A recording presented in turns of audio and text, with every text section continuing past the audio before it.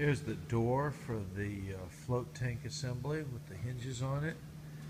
And over here we have the uh, walls and the top of the box. This makes the shipping container that the uh, float tank is going to arrive in. Here's the float tank sitting in the crate.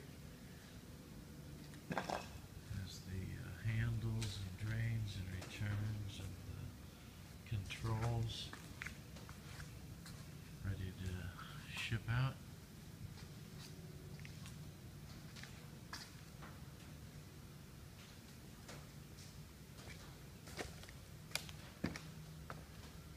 There we go.